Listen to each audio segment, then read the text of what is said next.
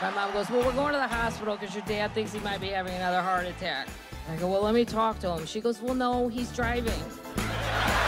That's the 20 somethings. They will quit, sir. I don't think you understand. They will leave in a minute. And they all agree on that. It's like they formed a union without ever having a meeting. I think their union should be called Yeah, No.